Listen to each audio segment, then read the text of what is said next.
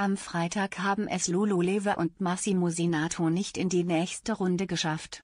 Sie erhielten zu wenige Anrufe und müssen letztens nach Show Nummer 9 verlassen. Für viele ein Schock. Immerhin haben die beiden für ihren Magic Moment 24 Punkte ergattert. In der Vorwoche erhielten sie für ihren Contemporary sogar volle Punktzahl, also 30 Punkte. Darum verwundert Joachim Lambis, 59, Kritik wenig.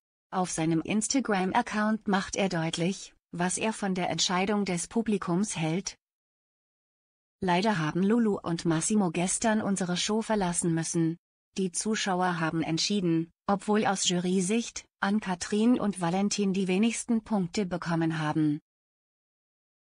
Zudem macht Joachim Lambi klar, dass er von Lulus Tanztalent überzeugt ist. Du warst eine tolle Kandidatin und hättest es auch verdient gehabt weiterzukommen. Wir sehen uns im Finale.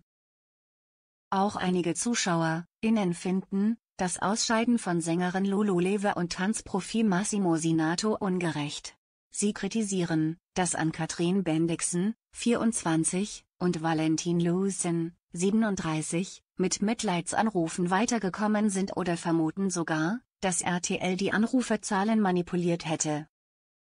Ihren Unmut äußern die Zuschauer, innen auf Social Media und wünschen Lulu für ihre Zukunft alles Liebe, so schade, man kann es einfach nicht verstehen, sehr schade und absolut ungerechtfertigt, schade, alles Liebe Lulu, vielen Dank Lulu, für deinen professionellen Tanzeinsatz.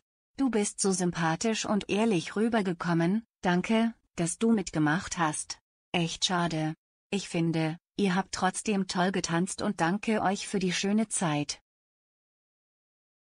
In der kommenden Woche dürfen die letzten fünf Tanzpaare im Musical Dome in Köln ihr Musical-Talent für Moulin Rouge unter Beweis stellen, weiterhin dabei sind, Detlef Sust und Ekaterina Leonova, Jana Wosen-Iza und Vadim Garbusov, Ann-Kathrin Bendixen und Valentin Lucen sowie Mark Keller und Katrin Menzinger.